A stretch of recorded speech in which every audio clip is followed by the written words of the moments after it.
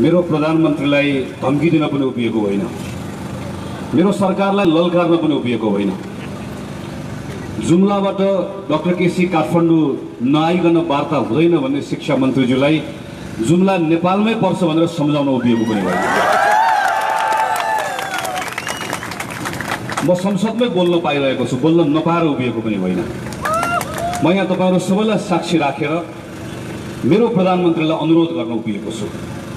मेरो सांसद साथीहरूलाई अनुरोध गर्न उभिएको छु। मैले सुनेसम्म नेपाल सरकारले भोलि फेरि चिकित्सा शिक्षा विधेयक संसदमा दर्ता गर्न ल्याउँदैछ भन्ने सुनेको छु। त्यो विधेयक ल्याउनुभन्दा पहिला आज नागरिकहरूले यहाँ उभिएर सरकारलाई खबरदारी गर्नुभएको छ अनुरोध गर्नुभएको छ। संसदमा त्यो काम हामीहरू गर्छौँ नै। तर त्योभन्दा पहिला म आज बिदाको दिनमा मेरो प्रधानमन्त्रीलाई अनुरोध गर्न उभिएको छु। मेरो सांसद साथीहरू कतिजनाले कहिलेकाहीँ सोध्नुहुन्छ डक्टर गोविन्द केसी को भनेर सोध्नुहुन्छ। म भन्छु डक्टर गोविन्द केसी एउटा जोगी एउटा फकिर कति साथीहरूले गोविन्द केसीलाई संसदमा छलफल गर्दा गर्दा भन्नुभयो हिम्मत छ भने जागिर छोडेर आऊ। मैले साथीहरूलाई पछि चिया खाने ठाउँमा भने जसले जिन्दगी छोड्छु भनेको त जाब जागिर तपाईँ उहाँसँग के माग्नु? कति साथीहरू गोविन्द केसीलाई काङ्ग्रेस हो भनेर भन्नुहुन्छ। कति साथीहरू होइन विवेकशील साझा हो भनेर भन्नुहुन्छ। म भन्छु नेपालमा थुप्रै मानिसहरू कुनै पार्टीको झन्डा नबोकिकन पनि यो झन्डा बोक्न तयार छन् भन्ने बुझिदिनुहोस् भनेर उहाँहरूलाई आग्रह गर्छु गोविन्द केसी साँच्चीकै फकिर जोगी जो हाम्रा निम्ति हाम्रा सन्ततिका निम्ति हाम्रो भविष्यका निम्ति हाम्रो अधिकारका निम्ति लडिराख्नु भएको छ। यो कुनै काङ्ग्रेस कम्युनिस्ट कोहीसँग पनि यसको कुनै पनि सरोकार छैन। यति कुरा मेरो प्रधानमन्त्रीले बुझिदिए हुन्छ सतीले सरापेको देश भनेर हाम्रो देशलाई हामी कहिलेकाहीँ भन्ने गर्छौँ। सतीको अवस्था कस्तो थियो थाहा छैन। म धेरै कुरामा विश्वास पनि गर्दिनँ। तर पनि त्यसको एउटा अन्तर्य त्यसको भाव महिलाहरूको सम्मान गर्न नसक्दै गर्दा त्यसको पीडाबाट यो देश बाहिर निस्कन सकेको छैन भन्ने होला भन्ने म बुझ्दछु। तपाईँहरू सबैको तर्फबाट म आज मेरो प्रधानमन्त्रीलाई आग्रह गर्छु तलमाथि नहोस् प्रार्थना गर्छु। तर हाम्रो हातमा सबै कुरा छैन। गोविन्द केसी कसैले फकाएर फकिनुहुन्न कसैले तर्साएर तर्सिनुहुन्न। यो चिकित्सा शिक्षा विधेयक ठिक ढङ्गले पारित नहुने बेलासम्म कसैले पनि उहाँलाई हल्लाउन सक्दैन। तर यो सरकार यसै गरिकन जिद्दी गरेर बस्यो र तलमाथि उहाँको शरीरलाई उहाँको जीवनलाई तलमाथि केही भयो भने हिजो हामीले सतीले श्राप दिएको देश भनेर भन्यौँ डाक्टर गोविन्द केसीको जीवन तलमाथि भयो भने त्यो सिङ्गो नेपाल हामी कोही पनि त्यो अपराधबाट मुक्त हुन सक्दैन। यो अपराध हामी सबैलाई लाग्छ। त्यो श्राप हामी सबैलाई लाग्छ। यत्रो गल्ती नगरौँ। म मेरो प्रधानमन्त्रीलाई आग्रह गर्न उभिएको छु। मैले प्रधानमन्त्रीजीको अभिव्यक्तिहरू सुने केही माननीय मन्त्रीजीहरूको अभिव्यक्तिहरू पनि सुने। मैले उहाँहरूले बुझ्नुभएको छैन भनेर भन्न खोजेको होइन। आज प्रोफेसर माथेमाले यहाँ उभिएर धेरै कुराहरू भन्नुभएको छ। तर त्यो अभिव्यक्तिहरू सुन्दै गर्दा म नियतमाथि मात्रै प्रश्न उठाउन चाहन्न। म कतिपय सन्दर्भमा विषयको गहिराइमा उहाँहरू पुग्नु भएको छैन भन्ने मेरो आफ्नो बुझाइ यहाँको बिचमा राख्न चाहन्छु। डाक्टर गोविन्द केसीले राख्नुभएका मागहरू चाहे कर्णाली स्वास्थ्य विज्ञान प्रतिष्ठानमा स्नातकको अध्ययन तत्काल सुरु गरौँ भन्ने कुरा वा स्नातकोत्तरको लागि निजी चिकित्सा शिक्षा अध्ययन गर्ने ठाउँमा पनि स्नातकोत्तरको व्यवस्था स्नातकोत्तर छात्रवृत्तिमा हुनुपर्छ भन्ने कुरा यी कुराहरू पुरा गर्न सरकारलाई कुनै अप्ठ्यारो छ भन्ने मलाई लाग्दैन। मुख्य कुरा चिकित्सा शिक्षा विधेयकसँग जोडिएको विषय नै चिकित्सा शिक्षा विधेयक पनि अध्यादेशबाट विधेयकसम्म आइपुग्दै गर्दा केही प्रावधानहरू तलमाथि भएको छ जसका बारेमा अघि माथिमा सरेर चर्चा गर्नुभएको छ। पहिलो प्रावधान काठमाडौँ उपत्यकामा दस वर्ष कुनै पनि मेडिकल कलेज खोल्न दिनु हुँदैन भन्ने विषय। यो विषय हेर्दा सामान्य लाग्छ। वा कतिपय साथीहरूलाई यो विषयको बारेमा छलफल आइरहेको लेखहरू हेर्दै गर्दा के लाग्छ भने यो विषयबाट अतिरञ्जित ढङ्गबाट वा आग्रहपूर्ण ढङ्गबाट हामी उठाइरहेका छौँ। होइन। सबैभन्दा पहिला के कुरा बुझ्न आवश्यक छ? म मेरो सांसद साथीहरूलाई आग्रह गर्छु यो गोविन्द केसीले भन्नुभएको होइन। यो केदार वक्त माथिमाको आयोगको चिकित्सा शिक्षाको नीति बनाउनका निम्ति बनेको कार्यदलको प्रतिवेदनको सिफारिस। त्यो कार्यदलमा प्रोफेसर माथिमा मात्र होइन त्यो कार्यदलमा को हुनुहुन्थ्यो? डक्टर मदन उपाध्याय डक्टर अर्जुन कार्की प्राध्यापक doctor Suresh Raj Sharma doctor Ramesh Kant Adhikari doctor Bhagwan Koirala स्वास्थ्य मन्त्रालयको जो अहिले डिजी हुनुहुन्छ गुणराज रोहनी शिक्षा मन्त्रालयको सहसचिव प्रवक्ता जो अहिले हुनुहुन्छ हरिलम साल शिक्षा मन्त्रालय र स्वास्थ्य मन्त्रालयको संस्थागत प्रतिनिधित्व काठमाडौँ विश्वविद्यालय बिपी बिपी बिपी धरान प्रतिष्ठान त्यसै गरिकन पाटनको सबै ठाउँको र नेपालका सबैभन्दा यो क्षेत्रको प्राज्ञिक हिसाबले व्यक्तित्वको हिसाबले स्वीकार्यताको हिसाबले सबैभन्दा बढी स्वीकार्यता भएका मानिसहरू यो क्षेत्रको प्राज्ञहरू बसेर बनाएको कार्यदलले लामो अध्ययन गर्यो। नेपालभित्र मात्र होइन नेपाल बाहिरकोसँग पनि छलफल गर्यो। त्यसको आधारमा केही निष्कर्षहरू निकाल्यो। सम्माननीय प्रधानमन्त्रीजी तपाईँलाई पनि यसको बारेमा केही पनि थाहा छैन तपाईँको पनि जेनरल नलेज मेरो दाबी छ मलाई पनि केही पनि थाहा छैन शिक्षा मन्त्रीजीलाई पनि थाहा छैन हामीहरू राजनीति गर्ने मान्छे जे पनि थाहा पाएको जस्तो गर्छ गलत। हामीलाई थाहा होइन हाम्रो जेनरल नलेज तर यसको डेप्थमा आजको दिनमा अघि माथिमा सरले भन्नुभयो त्यो प्रतिवेदनको भन्दा फरक ढङ्गबाट तपाईँले केही कुरा भनिराख्नु भएको छ भने हामी जान्न चाहन्छौँ। तपाईँको ज्ञानको सोर्स के हो? तपाईँको बुझाइको सोर्स के हो? दस वर्ष मेडिकल कलेज काठमाडौँमा किन नखोल्ने? दस वर्ष यस कारणले गर्दा नखोल्ने। काठमाडौँ उपत्यकाभित्र जति जनसङ्ख्या छ यो जनसङ्ख्याको आधारमा जतिवटा अस्पताल आजको दिनमा काठमाडौँमा छ जतिवटा मेडिकल कलेज यहाँ खुलिसकेको छ अरू थप मेडिकल कलेज खुल्ने हो भने चिकित्सा शिक्षा पढ्ने विद्यार्थीले पढ्ने भनेको बिरामी माथि हो। बिरामी पुग्दैन त्यसको प्रमाण हेर्न कहीँ जानु पर्दैन। सरकारको मन्त्रीजीलाई मेरो आग्रह छ सँगै जाउँ ल। संसदको टोली बनाएर जाउँ। काठमाडौँको यही जारी भएको मेडिकल कलेजको अवस्था हामीहरू अहिले देख्न सक्छौँ। काठमाडौँभन्दा बाहिरका साथीहरू भन्नुहुन्छ काठमाडौँमा खोल्न नपाइने। म काठमाडौँको सांसद हुँ। यहाँको जनताको प्रतिनिधि हुँ। यहाँको जनताको प्रतिनिधि भएर भन्दैछु हो पुग्यो। काठमाडौँमा थप मेडिकल कलेज चाहिँदैन। काठमाडौँमा मेडिकल कलेज खोल्नुपर्छ दिए हुन्छ भन्नलाई म ताप्लेजुङको मान्य सांसदलाई आग्रह गर्छु। दार्चुलाको मान्य सांसदलाई आग्रह गर्छु। काठमाडौँमा खोल्न दिए हुन्छ भनेर तपाईँ दार्चुलावासीमाथि अन्याय गरिराख्नु भएको छ। तपाईँ ताप्लेजुङमाथि अन्याय गरिराख्नु भएको छ। काठमाडौँमा मेडिकल कलेज खोल्ने अनुमति दिन साथै हामी अहिले भनिदिन सक्छौँ काठमाडौँमा कतिवटा खुल्छ? थप बिसवटा खुल्छ यहाँ। थप बिसवटा मेडिकल कलेज काठमाडौँमा खुल्दै गर्दा अहिले बाहिर भएकाहरू पनि बन्द हुन्छन् नयाँ खोल्ने कुरै छोडिदिनुहोस्। सरकारले खोलेर पनि चलाउन सक्दैन। विद्यार्थी पुगे पनि नपुगे पनि कलेज खोल्ने यही खोल्न चाहन्छ। पढाउने मानिसहरू अहिले कोहलपुरमा भएको मान्छे पाल्पा भएको मान्छे फर्केर यहीँ आउन चाहन्छ। त्यहाँ भएको पनि बन्द हुन्छ नयाँ खुल्दैन नयाँ चल्दैन। त्यस कारणले गर्दा यो यो कार्यदलले भन्यो काठमाडौँमा अब थप खोल्नु हुँदैन। हजुरको भरमा भनेको होइन। किन एउटा विश्वविद्यालयले पाँचवटा भन्दा बढी मेडिकल कलेजहरू नदिने प्राध्यापक शरद वन्तले आजभन्दा धेरै वर्ष अगाडि जो त्रिभुवन विश्वविद्यालयको सहायक दिन हुनुहुन्थ्यो उहाँले त्यही बेलामा भन्नुभएको एउटा कुरा स्मरण गराउँछु। धेरै थाकेको घोडालाई अगाडि हिँड भनेर चाबुक हान्यो भने घोडा अगाडि हिँड्दैन थचक्क बस्छ। त्रिभुवन विश्वविद्यालय चिकित्सा शास्त्र अध्ययन संस्थानको अवस्था ठिक त्यस्तै भएको छ। हामीलाई हिँड भन्नुभयो भने हामी हिँड्दैनौँ बस्छौँ। किन हामी थाकिसक्यौँ? हाम्रो युनिभर्सिटीको आजको दिनमा जुन इन्स्टिच्युट छ त्यसले जतिवटा कलेजलाई दिएको छ त्यो पहिल्यै ओभर क्राउडेड भइसक्यो। हामी हेर्नै सक्दैनौँ। अ- अनुगत यो सम्बन्धन दिने भनेको केवल एउटा लिखित एउटा लाइसेन्स दिने मात्र होइन। त्यसको जिम्मा लिने हो। काठमाडौँ युनिभर्सिटीले त दुई हजार उनासत्तरी सालमा निर्णय गर्यो। लोकमान सिंह कार्की अख्तियारको प्रमुख हुँदै गर्दा दबाब नदिएको भए काठमाडौँ विश्वविद्यालयले त्यही बेलामा दबाब फेक्न सकेको भए एउटा पनि थप कलेजलाई दिँदैन थियो धेरै पहिला केयुले निर्णय गरिसक्यो। धेरै पहिला त्रिभुवन विश्वविद्यालयले भनिसक्यो। अब म प्रधानमन्त्रीजीलाई आग्रह गर्न चाहन्छु सोध्न चाहन्छु शिक्षा मन्त्रीजीलाई सोध्न चाहन्छु त्रिभुवन विश्वविद्यालय भन्छ म सक्दिनँ। काठमाडौँ विश्वविद्यालय भन्छ म सक्दिनँ। माथेमा सरको प्राज्ञिकरको आयोगले भन्छ एउटा विश्वविद्यालय दुईवटा तिनवटा भन्दा बढी नदिउँ मा अधिकतममा पाँचवटा भन्दा बढी नदिउँ। तर तपाईँ भन्नुहुन्छ जति दिए पनि हुन्छ। मलाई बताइदिनुहोस् तपाईँको ज्ञानको स्रोत के हो? के को आधारमा भन्दै हुनुहुन्छ?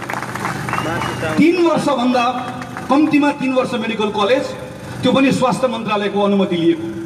स्वास्थ्य मन्त्रालयको अनुमति लिएको त्यसको लाइसेन्सिङको प्रक्रिया एकदमै व्यवस्थित छ। जसको कारणले गर्दा एउटा कोठामा काहीँ गएर अस्पताल खोलेर मात्र हुँदैन। जग्गा जमिनदेखि लिएर चिकित्सक उपलब्धिदेखि लिएर थुप्रै थुप्रै कुराहरू छन्। यी सबै कुराहरूको मानकहरू पुरा गरेर तिन वर्ष विश्वसनीयता आर्जन गरेको एउटा अस्पताललाई मात्रै मेडिकल कलेज बनाउनु पर्छ त्योभन्दा बाहेकलाई बनाउनु हुँदैन भनेर भन्दै गर्दा त्यो तिन वर्षको प्रावधान हटाउने कुराको बारेमा एउटा मात्र तर्क सरकारको पक्षले गरिदियोस्। त्यो कुरा त्यो तपाईँको तर्कले हामीलाई कन्भिन्स गर्नुभयो भने म पनि सांसद तपाईँको कुरामा थप्पडी बुझ्न तयार छु। त एउटा तर्क आओस् आउँदैन।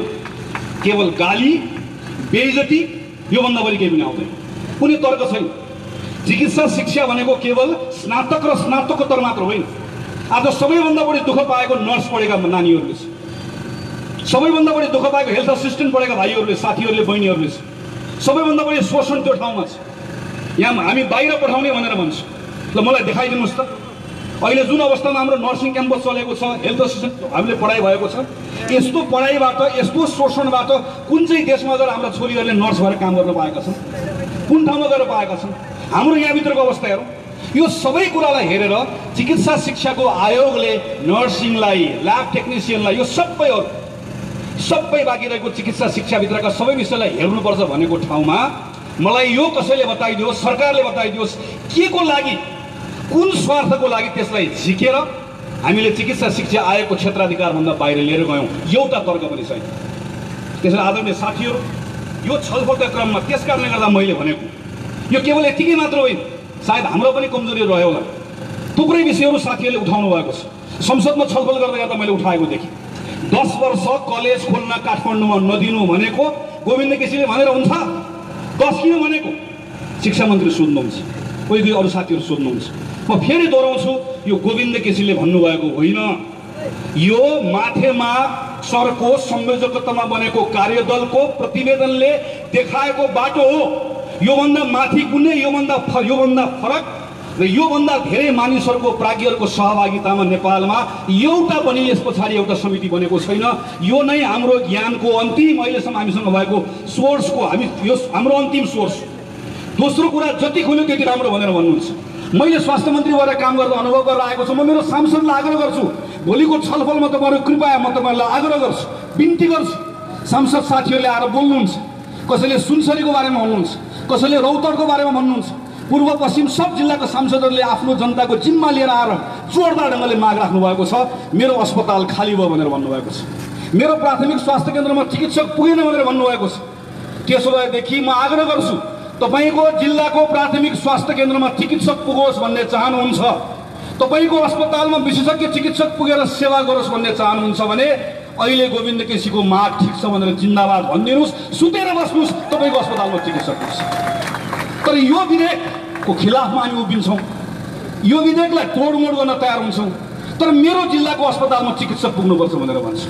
एउटा चिकित्सक तयार गर्नका निम्ति विशेषज्ञ चिकित्सक बन्दा बन्दै करिब करिब आठ दस वर्षको समय एक करोडभन्दा बढी पैसा लगाएर उन्चालिस हजार आठ सय रुपियाँ तलब दिएर अनि गाउँ गाउँको ठाउँमा अञ्चल अञ्चलका जिल्ला जिल्लाको अस्पतालमा हामी चिकित्सक पुगेन भनेर गएर कराएर बसेका छौँ। मेडिकल कलेज कहाँ खुल्छ? कसरी खुल्छ? कसले खोल्छ? कसले पढ्छ? कतिमा पढ्छ? हाम्रो गाउँमा चिकित्सक आउने कुरा योसँग जोडिएको छ। काठमाडौँमा पचासवटा मेडिकल कलेज साहुहरूले खोलेर पचास साठी लाख तिरेर पढेर अनि फेरि अर्को पचास लाख तिरेर विशेषज्ञ चिकित्सक पढेर अनि डेढ करोड एक करोड तिरेको डक्टर तिस हजार तलब लिएर तपाईँको मेरो गाउँमा आउँदैन। मेडिकल कलेज कहाँ खुल्ने भन्ने कुरासँग हाम्रो स्वास्थ्य सेवा जोडिएको छ। यो कुरा बुझिदिने मेरो सांसद साथी लाग्छ अर्को अर्को सधैँभरि उठ्ने गरेको कुरा विद्यार्थी बाहिर गयो भनेर भन्छु। कति विद्यार्थी बाहिर गएका छन्? तथ्यमा छलफल गरौँ। चार सय पाँच सय विद्यार्थी बाहिर गयो यो आन्दोलन सुरु हुनुभन्दा पहिला कति विद्यार्थी बाहिर जान्थे? दुई हजार विद्यार्थी बाहिर जान्थे। गोविन्द केसीलाई बडो सजिलोसँग सांसद साथीहरूले बोल्दै गर्दा मलाई शङ्का लागिरहेको छ। कतै विदेश बाहिर पठाउनेहरूबाट सञ्चालित त छैनन् भनेर उहाँहरू भन्नुहुन्छ। आज विदेश बाहिर पठाउन डेस्क र टेबल राखेर बसेका मानिसहरूको धन्दा कसैले बन्द गर्यो भने यही आन्दोलनले बन्द गर्यो। गोविन्द केसीको आन्दोलनले बन्द गर्यो। यही प्रतिवेदनले बन्द गर्यो। किन? किनकि हिजो सबैभन्दा सजिलोसँग बाहिर मेडिकल स्टुडेन्ट भएर जान पाइन्थ्यो। तर यो आन्दोलनले कुरा उठायो। माथेमा सरले को आयोगले सिफारिस गर्यो। नेपाल मेडिकल काउन्सिलले लागू गर्यो। अब नेपालको युनिभर्सिटीको इन्ट्रान्स पास नभइकन कोही बाहिर पढ्न जान पाउँदैन। एकैचोटि दुई हजारबाट घटेर चार सयमा आयो। त्यो चार सय पनि म चुनौती दिन्छु अध्ययन गरौँ। को विद्यार्थी जानुभएको छ? नेपालमा पढ्न नपाएर गएको होइन। यहाँको मेडिकल कलेजको सिट खाली छ। तर किन जानुभएको? किनकि यहाँ जति कुरा गरे पनि मेडिकल कलेजले यहाँ एकैपटक पचास लाख लिन्छ चालिस लाख लिन्छ। यहाँ पास हुनुपर्छ। तर बाहिर जाने विद्यार्थीहरूमध्ये केही छात्रवृत्तिमा गएका छन्। नब्बे प्रतिशत बाहिर गएका विद्यार्थी नेपालमा पढ्न नपाएर गएको होइन। फिलिपिन्स गएका चिन गएका बङ्गलादेश गएका विद्यार्थी पैसा दिएर भर्ना भएपछि एमबिबिएसको सर्टिफिकेट आउने ग्यारेन्टी पहिला हातमा लिएर पढ्न गएका हुन्। दुःखका साथ भन्नुपर्छ तिनले पनि दुःख पाएका छन् तिनले भोलि हामीलाई पनि दुःख दिनेछ यहाँ अर्को पचासवटा मेडिकल कलेज खोलौँ। वर्षको चार सय विद्यार्थी बाहिर जान रोकिन्न। वर्षको पाँच सय विद्यार्थी बाहिर जान रोकिन्न म मान्य सांसदहरूलाई आग्रह गर्छु बुझिदिनुहोस् कुरा तथ्य बुझिदिनुहोस्। यहाँ मेडिकल कलेज कम भएर विद्यार्थी बाहिर गएका होइनन्। यहाँ मेडिकल कलेज बढेर विद्यार्थी बाहिर जाने कुरा रोकिने होइन। यहाँ मेडिकल कलेज खाली भइसक्यो अहिले नै कोही पढ्न जाँदैन जानकी मेडिकल कलेजमा। नेसनल मेडिकल कलेजमा सिट खाली छ। काठमाडौँमै पनि यहाँ कतिपय मेडिकल कलेजमा यहाँ मान्छे पाउन छोडिसक्यो। यति कुरा बुझ्दिन पनि मेरो संसद साथीहरूलाई आग्रह छ अर्को लगातार आरोप लगाइरहेको विषय छ काठमाडौँभन्दा बाहिर अहिले जति पनि मेडिकल कलेज खुलेको छ लगातार यो प्रधानमन्त्रीजीको को स्टेटमेन्ट हो जुन स्टेटमेन्टलाई धेरै सांसद साथीहरूले दोहोऱ्याउनु भएको छ। यहाँ नेपालमा चलिरहेका मेडिकल कलेजहरूको सिन्डिकेट जोगाउनका लागि गोविन्द केसी अनसनमा बस्नुभएको छ। क्षमा गर्नुहोला आजको दिनमा अहिले चलिरहेको मेडिकल कलेज जसले हिजो एक सय पचास सिट पाएको थियो आज उहाँहरूलाई सोध्नुभयो भने तपाईँहरू सबैभन्दा बढी कोसँग रिसाउनु भएको छ भन्दा हाम्रो सिटलाई एक सय पचासबाट सय झार्ने गोविन्द केसीसँग रिसाएको छौँ भनेर उहाँहरू भन्नुहुन्छ हिजो साठी लाख सत्तरी लाख लिइरहेको शुल्क लिइरहेको ठाउँमा आज आज शुल्क तोकिएर चालिस लाखभन्दा मुनि शुल्क लिँदै गर्दाखेरि कोसँग रिसाउनु भएको छ भन्दा गोविन्द केसीसँग रिसाएको छु भनेर भन्नुहुन्छ आज त्यही मानिसको आन्दोलनबाट अघि भनेको कार्यदलबाट दिएको आधारमा शुल्कलाई नियन्त्रण गरियो सिट सङ्ख्यालाई निर्धारण गरियो कतिपय ठाउँमा काठमाडौँभन्दा बाहिर खोलेका मेडिकल कलेजहरूलाई जोगाउने जिम्मा पनि आजको दिन राज्यको दायित्व तिनले ठुलो सर्भिस पुऱ्याइरहेका छन्। तर यो बिचमा जबरजस्ती यो कुतर्क गरेर कि नेपालमा मेडिकल कलेज खोल्न नदिनका लागि पुरानो मेडिकल कलेजका सञ्चालकहरूसँग मिलेर यो आन्दोलन भइरहेको छ भन्ने कुरा यति कुरा मेरो बुझ्दिन पनि म आग्रह गर्न चाहन्छु। अर्को कुरा सम्माननीय प्रधानमन्त्रीले भन्नुभएको छ नेपाललाई मेडिकल हब बनाउँछु भनेर। म तपाईँलाई आग्रह गर्छु प्रधानमन्त्रीजी उपचार गर्न किन हामी सिङ्गापुर गइरहेका छौँ? किन हामी ब्याङ्कक गइरहेका छौँ? तपाईँ उपचार गर्न बङ्गलादेश किन नजानु भएको बङ्गलादेश अहिले मेडिकल हब हो तर किन जाँदैनौँ? किनकि बङ्गलादेश जाँदै गर्दा त्यहाँको डक्टर देखेर डर लाग्छ। मानिसहरू भागाभाग गर्छन्। यसै गरिकन मेडिकल कलेज खोल्ने भने मेडिकल हब होइन। अहिले सामान्य नागरिकहरू जो उपचार गराइरहेका छौँ हामीहरू जति पनि छौँ यी मानिसहरू पनि यहाँको अस्पताल उपचार नगराएर घर खेत बेचेर भारत उपचार गराउन जान बाध्य हुन्छ। विश्वास हुँदैन। गुणस्तरीय चिकित्सक सबैभन्दा ठुलो विश्वासको कुरा हो। आज यहाँ धेरै मेडिकल कलेज खोल्ने वा धेरै मेडिकल कलेज खोल्ने संसारभरिका विद्यार्थी पढ्न यहाँ आइदिन्छन् अनि टन्न डलरमा तिर्छन्। त्यसपछि गएर नेपाल धनी हुन्छ। यो पानी जहाज जस्तो होइन प्रधानमन्त्रीज्यू। यसरी देश धनी हुँदैन। संसारका मानिसहरू मूर्ख छैनन्। बिरामी पनि नभएको आफ्नै नेपालीहरू मेडिकल कलेजमा पढ्न छोडिसके पछाडि बाहिरका मानिसहरू यहाँ पढ्न आउँदैनन्। हिजो हाम्रो आइओएममा किन पढ्न आएको हिजो मणिपालमा किन पढ्न आएको? भारतको विद्यार्थी आएका छन् श्रीलङ्काका विद्यार्थी आएका छन् क्वालिटी छ भनेर आएको क्वालिटी छैन भनेको दिनबाट उनीहरू आउन बन्द हुन्छ। सर्टिफिकेट किनबेच गर्न मात्र आउने हो भने अहिलेको हाम्रो बङ्गलादेशको जस्तै अवस्था हुन्छ। म यति कुरा पनि बुझ्नका निम्ति आग्रह गर्न चाहन्छु। त्यसै त्यसै गरिकन कतिपय साथीहरूले कुरा उठाउनु भएको छ कि योभन्दा अगाडि मेडिकल कलेज खुलेकाहरू थुप्रैले मापदण्ड पुरा नगरिकन खुले। ती खुलेका मानिसहरूलाई पनि कतिपय गलती भएको यसलाई कारवाही गर्नुपर्छ। म उहाँलाई आग्रह गर्न चाहन्छु गोविन्द केसीको मागै यही छ अहिले। गौरीशङ्कर कार्कीको नेतृत्वमा जुन आयोग बनायो त्यो आयोगले त्रिचालिसजना सिफारिस गरेको छ कारवाहीका लागि। ती सिफारिस गरेका मानिसहरूलाई कारवाही गर। हिजो गल्ती गरेका मानिसहरूलाई दण्ड देऊ। जो जसले गरेका छन् जोसुकै परुन् दण्ड देऊ भनेर भन्दै गर्दा त्यो हामी पुरा गर्न सक्दैनौँ। हामी भनिरहेका छौँ। हामी कति बडो लज्जा नभइकन भन्छौँ। एउटै विषयमा पन्ध्र पटक अनसन बस्न लाज लागेन भनेर गोविन्द केसीलाई भन्छु? मलाई लाज लागेको छ। के कारणले गर्दा लाग लागेको छ भने एउटै विषयमा पन्ध्र पटक अनसन बस्दै गर्दा लाज गोविन्द केसीलाई होइन। हामी सरकार चलाउनलाई लाज लाग्नुपर्ने हो। हामी संसद चलाउन लाज लाग्नुपर्ने हो।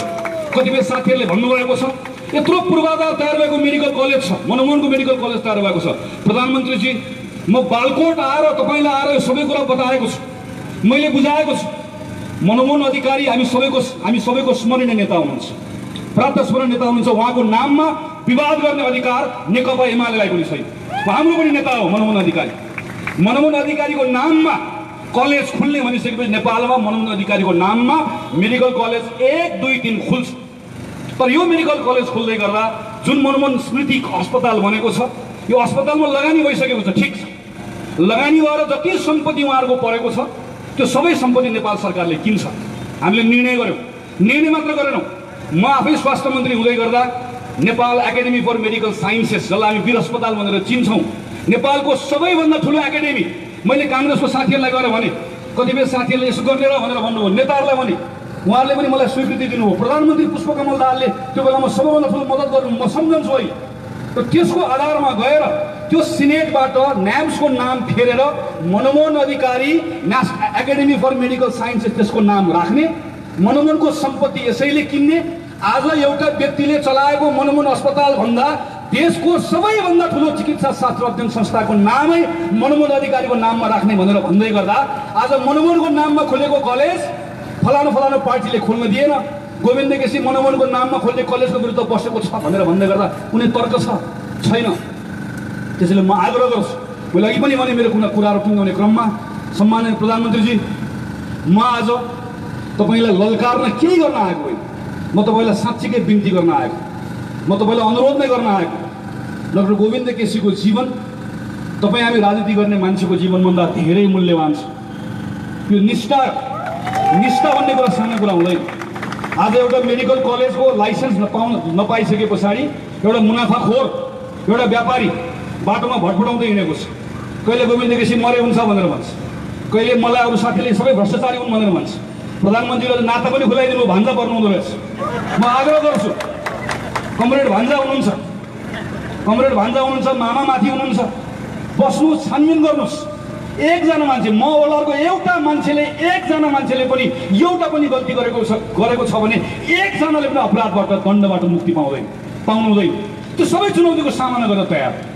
हिजो लोकमान सिंह कार्की आउनुभयो हिजो श्रीमान गोपाल बराजुली आउनुभयो यो सबै कुराले के देखाउँछ यो सबै कुराले चिकित्सा शास्त्रको अध्ययन संस्थाको यो विषय नेपालको सन्दर्भमा सामान्य मेडिकल एजुकेसनको विषय मात्र होइन यसले नेपालमा पोलिटिक्सको नेक्सस कहाँ कहाँ छ भन्ने कुरालाई प्रश्न बनाएको छ। त्यस कारणले गर्दा मेरो प्रधानमन्त्रीलाई आग्रह छ फेरि एकपटक मेरो भनाएर टुङ्ग्याउने क्रममा आग्रह छ। पन्ध्र दिनको अनसनमा हुनुहुन्छ। मलाई कर्णालीको साथीहरूले चिकित्सकहरूले लगातार फोन गरिराख्नु भएको छ। उहाँ उहाँको अवस्था आज हामीले गोली पनि सुन्यौँ। उहाँको अवस्था कुनै पनि बेलामा अप्ठ्यारो पर्ने खालको अवस्था छ। त्यसैले मेरो आग्रह छ जबरजस्ती नगर्नुहोस् हट नगर्नुहोस्। प्रधानमन्त्री मेरो पनि हो। हामी सबैको प्रधानमन्त्री। हाम्रो हक लाग्छ तपाईँमाथि हाम्रो अधिकार लाग्छ आजको दिनमा। त्यो हकका आधारमा तपाईँसँग आग्रह गर्दैछु। तपाईँले आज बेलुका घोषणा गरिदिनु हो भोलि संसदमा चिकित्सा शिक्षा विधेयक आउँछ तर गोविन्द केसीको माग अनुसार केदार भक्त माथिमाको प्रतिवेदनको मर्म अनुसार आउँछ भन्दै गर्दा देशभरि तपाईँकै जय जयकार हुनेछ।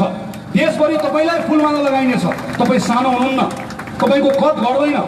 तपाईँको दुई त्याइ पनि घट्दैन। तपाईँको बढ्छ तपाईँको ताकत बढ्छ। त्यसैले मेरो तपाईँलाई आग्रह छ यति कुरा बुझिदिनुहोस् यति कुरा सुनिदिनुहोस्। यो नागरिकको आवाज हो।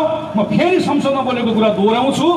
रत्न पार्कको अगाडिपट्टि बस्दै गर्दा हिजो गिरिजा प्रसाद कोइराला नारायणमान बिजुक्से माधव नेपाल भरत विमल यादव अमित शेरसन यी केही मानिसहरू बस्दै गर्दाखेरि त्यो बेलामा महाराजले दरबारबाट हेरेर भनि संसद भएको मानिसहरूको टाउको नगर्नुहोस्। सत्य छ मुद्दा ठिक छ भने एउटा मान्छे उभिए पनि पुग्छ। मुद्दा गलत छ भने लाखौँ मान्छे केही अर्थ हुँदैन र आज यो जति मानिसहरू यहाँ उभिएका छन् ती मानिसहरू सत्यको पक्षमा उभिएका छन्। गोविन्द केसी आज जहाँ कर्णालीमा सुतिराख्नु भएको छ सत्यको पक्षमा लडिराख्नु भएको छ। यो सत्यको आवाजलाई सुनिदिनुहोस् हृदयको यो आवाजलाई सुनिदिनुहोस्। म मेरो प्रधानमन्त्रीले यही कुरा आग्रह गर्दै मेरो आफ्नो कुरा टुङ्ग्याउँछु। धन्यवाद नमस्कार जय नेपाल।